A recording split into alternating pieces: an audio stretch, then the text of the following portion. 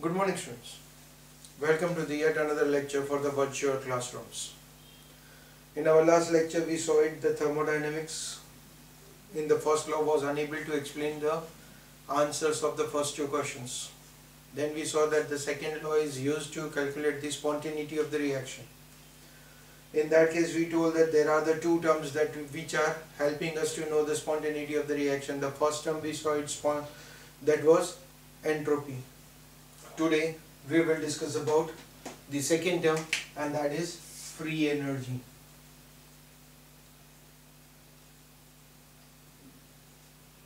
Now this is also termed as Gibbs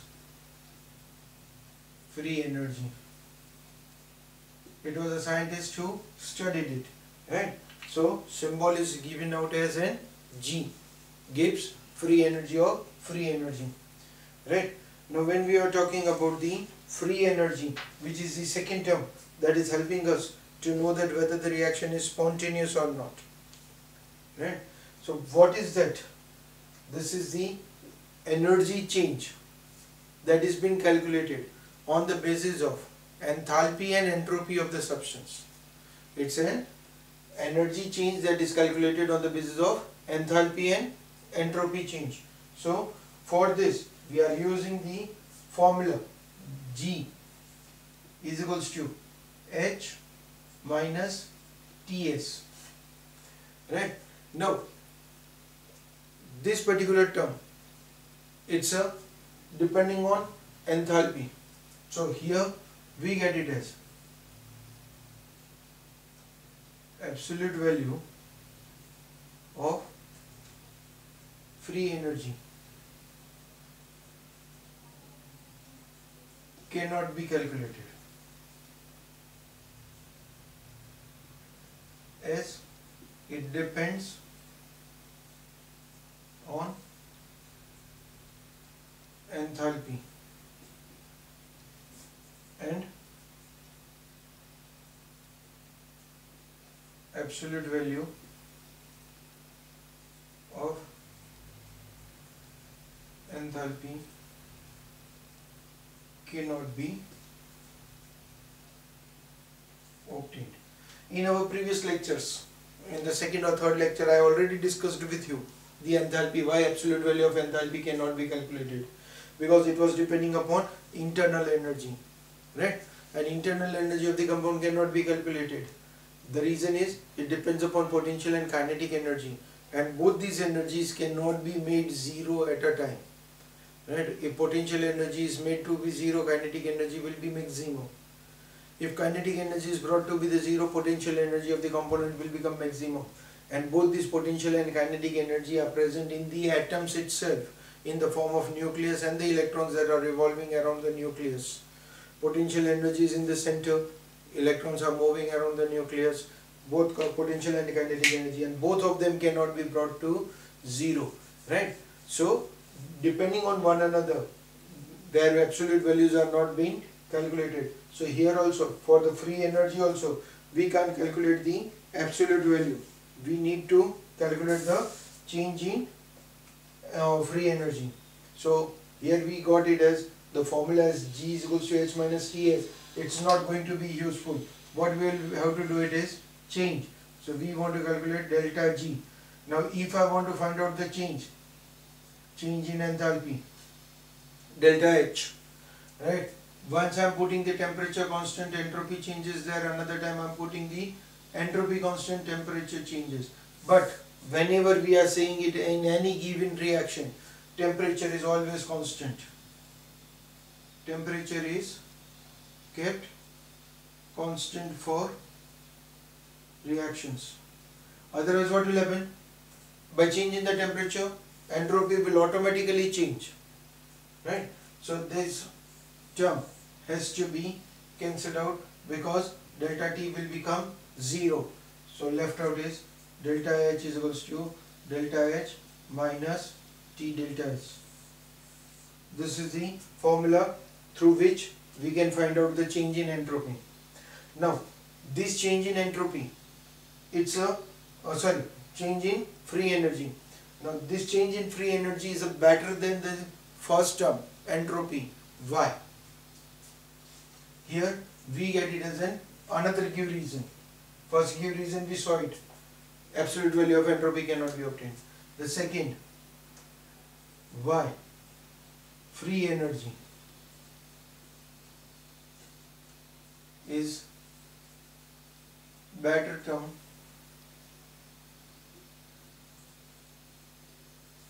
know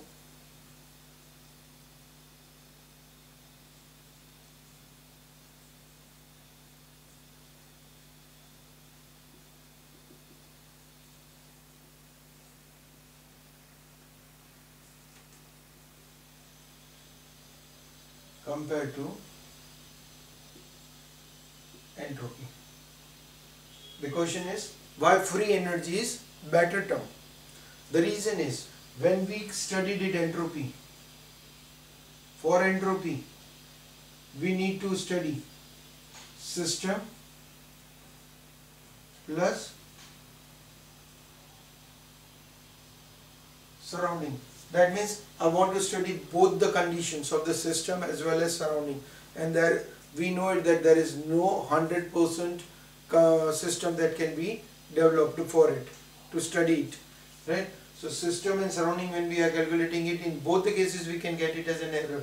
So probability of being in more accurate is accuracy of this uh, study is being decreased while we are studying the free energy. We want to study only system which is under our control. Surrounding is not under our control right? System is under our control. So free energy is based only on system. The study of the system. While entropy is based on system as well as surrounding. And because of it free energy is a better so we are writing the answer as entropy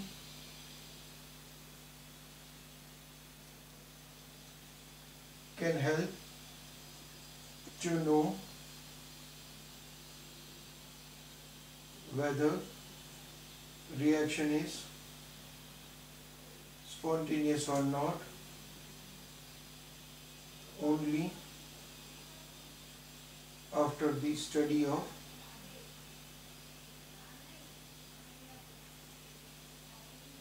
system and surrounding. While free energy can help only by knowing system only by the help of system and therefore free energy is much better but how this free energy is going to help us?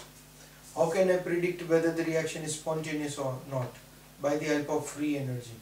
So in that case, we are having it, the formula that we just wrote it.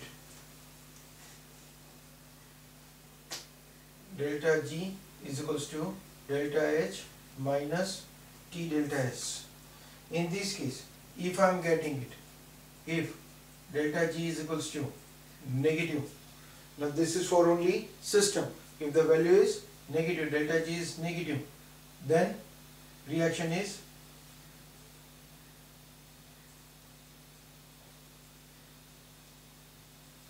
reaction is spontaneous. If your delta G is equals to positive, then reaction is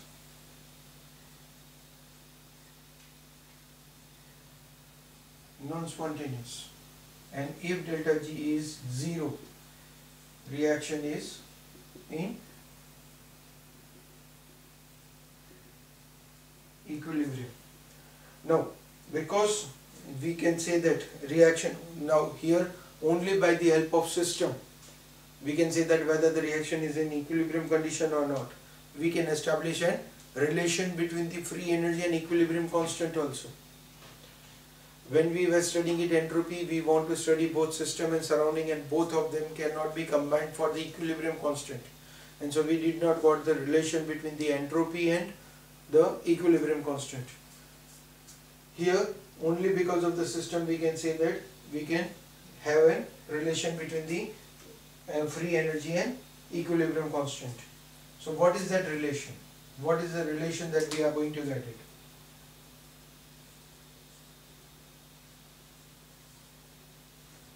Between free energy and equilibrium constant is written as delta G is equals G naught is equals to minus 2.303 RT log K. Right? There is no derivation. How do we get this formula? We don't want to bother for the uh, derivation of getting the formula. But straight away, by using it, we can get the value of delta G. Not is indicated as a standard condition. Right? Okay. So, the third term that now will be helping us to know whether the reaction is spontaneous or not. Because once we use this term, we can find out the delta G. So this term is going to help us because R, it's a constant, it's a gas constant. This one is also a temperature of the reaction.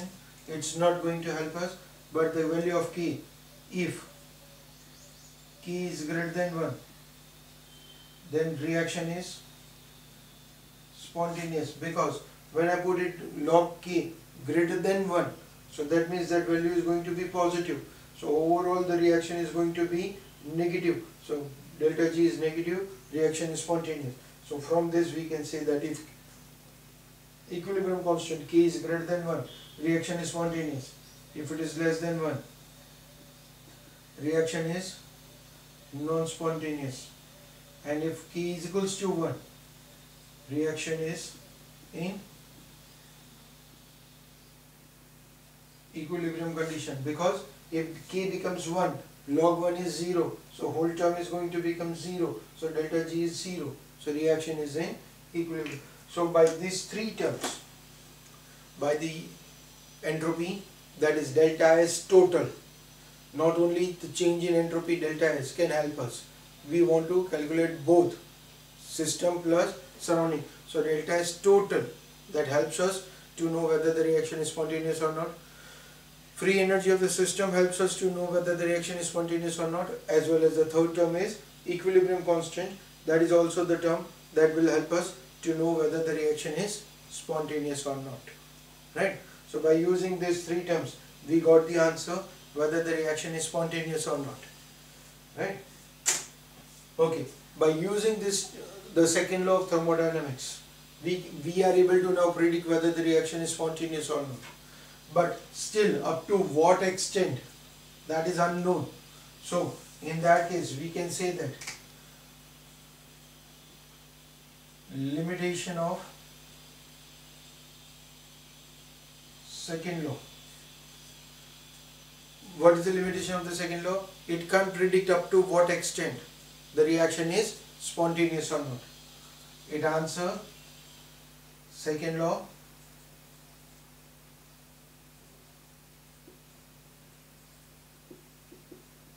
explained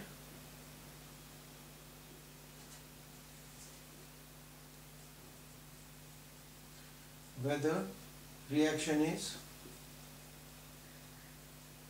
spontaneous or not but it did not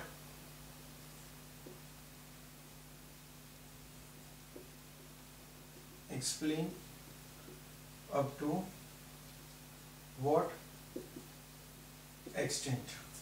It did not explain up to what extent. That means the second part of the thermodynamics is unexplained. Right? It is not only the limitation of the second law. Actually, the second part of the uh, the second question is explained on the basis of the chemical kinetics. The whole thermodynamics is not able to explain up to what extent the reaction will be carried out in it it is explained only by the chemical kinetics. So that is going to be a complete limitation of the thermodynamics. So you can say that this is a limitation of second law as well as you can say that this is the limitation of thermodynamics. Right? Okay that's all what we are having as a theory part in our syllabus. Right? Majorly majoritarily in your this particular uh, chapter numericals are going to be very important for you. Right? So let's see what are the numericals that we will be having it. But before going it for the numericals what we will be doing it is we will find out the list of formulas that we are going to use it particularly within this chapter to calculate the numericals. Right? So list of formulas right? We are going to use the formula w is equals to p delta v. This is the one of the equation that we have very first derived it w is equals to p delta v. In it we placed it minus sign to predict it whether the work is done by the system or on the system right? So the formula we are going to get it as w equals to p delta v. But what is delta v? We also got it as it is indicated as v2 minus v1 we will be getting it as in delta v is equals to v2 minus v1 again I want to calculate v. I'm going to use the formula pv is equals to nRT to calculate the specific value of v right? Absolute value. So they are going to be interdependent. There is a possibility that in the sum this all the three formulas may be utilized together. But at the same time when we are calculating it pressure we are going to calculate it either in atmosphere or bar volume change we are going to get it in the terms of liter. So p delta v the unit we are going to get it as liter atmosphere. But when we are talking about the energy change the energy change is calculated in the terms of joules right? Because the another formula that we are going to use at delta u is equals to q plus w. Now this is calculated in joules. This is in the liter atmosphere we can't add or subtract them. So to convert liter atmosphere into joule convert liter atmosphere into joule we are having a relation. 1 liter atmosphere that is equals to 101.325 joule. We are having it as a relation. This we want to remember. 1 liter atmosphere is equals to 101.325 so once we get it as W, W will be in the terms of liter atmosphere. Liter atmosphere converted into joules so we can go for addition or subtraction whatever is required once it is converted into joules. Right? The next formula that we are going to use it that is delta H. Delta H is equals to delta U plus delta N RT right? Where delta N is again delta N is equals to NP minus NR number of moles of the gaseous component of product minus number of moles of gaseous component of reactant NP means number of moles of product in gaseous state. For the liquid and solid we are not going to consider the number of moles. Right? NR is equals to number of moles of reactant in gaseous state. Right? So that formula we are going to get for delta H is equals to delta U plus delta NGRT where delta U was internal energy right? There is another formula that we are also going to use it. Summation of HP minus summation of HR that is enthalpy of product minus enthalpy of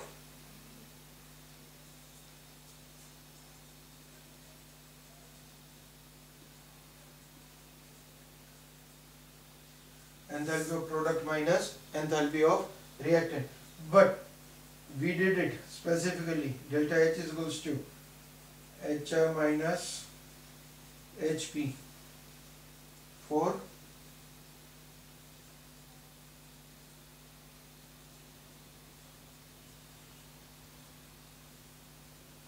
this formula we are going to use it for bond dissociation enthalpy.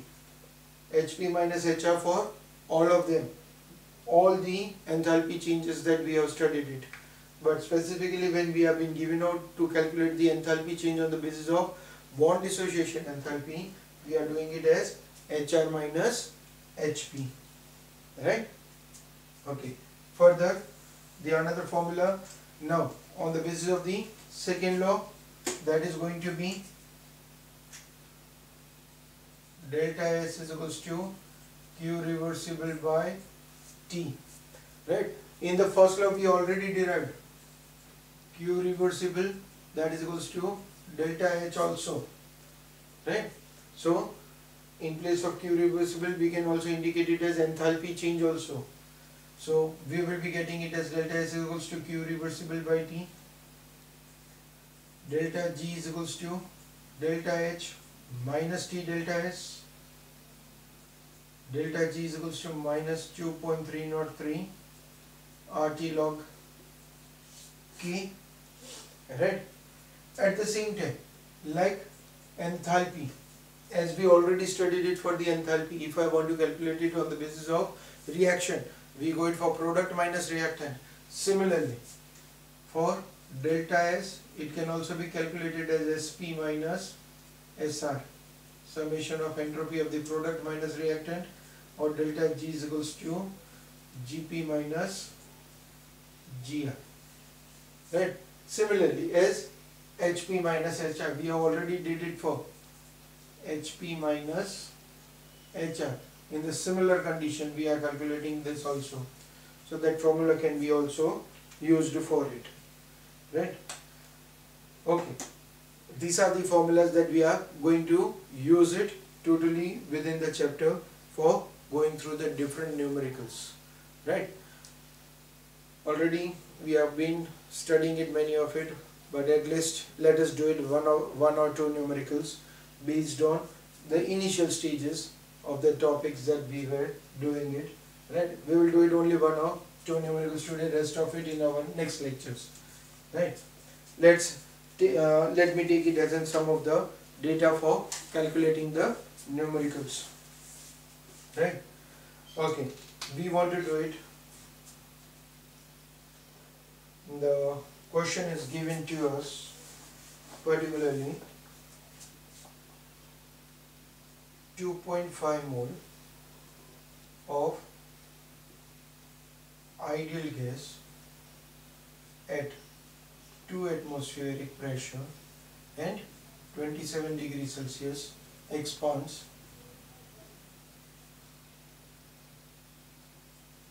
isothermally to 2.5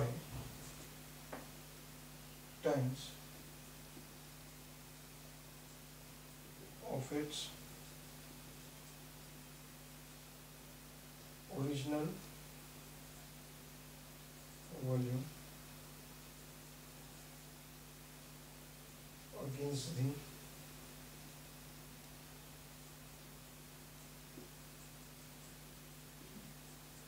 pressure of 118 calculate work done.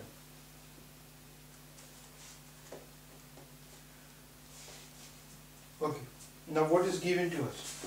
It's told to us 2.5 moles of an ideal gas. At 2 atmosphere and 27 degrees Celsius is expanded isothermally. Isothermally means temperature is kept constant.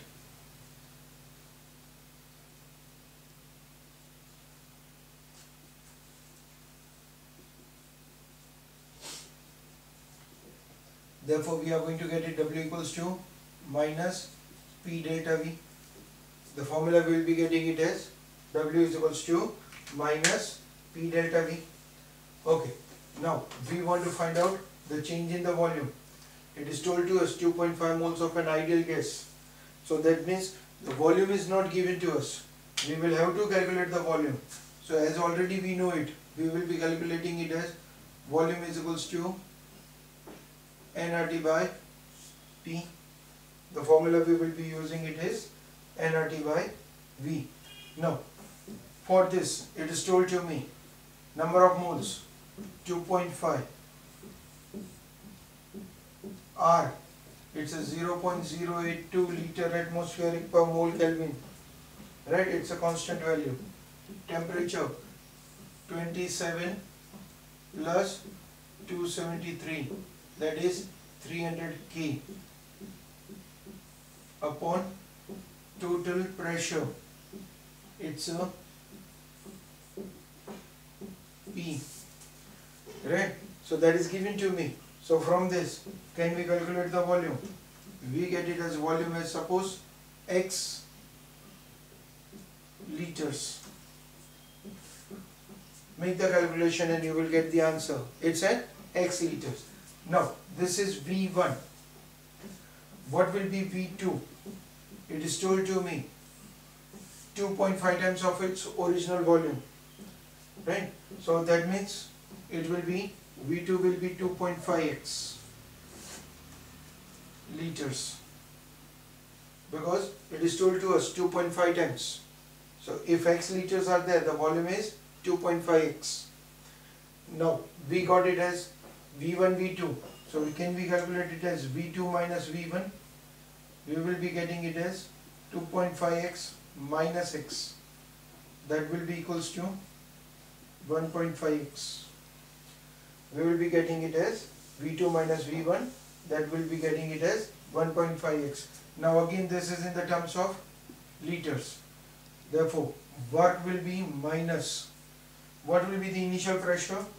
The pressure is given to us 2 the pressure that is given to us as uh, sorry you want to calculate the work external pressure of 1 so now this one P will be equals to 1 into 1.5x so you will be getting it as minus 1.5x liter atmosphere.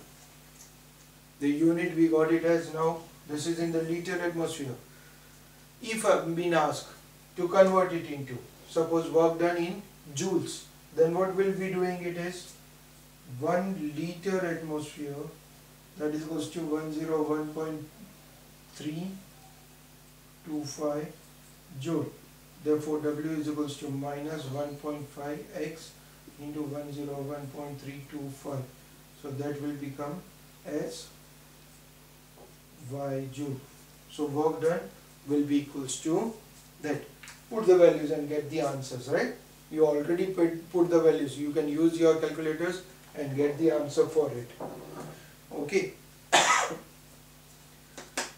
Right? So like that this is only the first term first formula that I have utilized it. The rest of the sums we will do it in our next lecture. Slowly we will be going it with the other numericals right? So make it as in practice.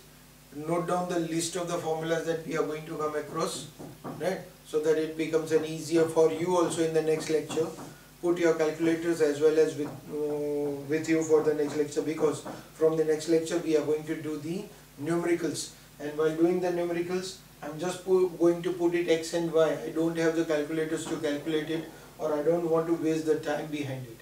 You can do it and put the values and get the answers right? In the exam you don't do it like this. You have to put the values you have to get the answers and final answer also. Not don't write it as an x and y okay? It's for me that I'm doing it. Okay? So in our next lecture we will go through other numericals. Till then thank you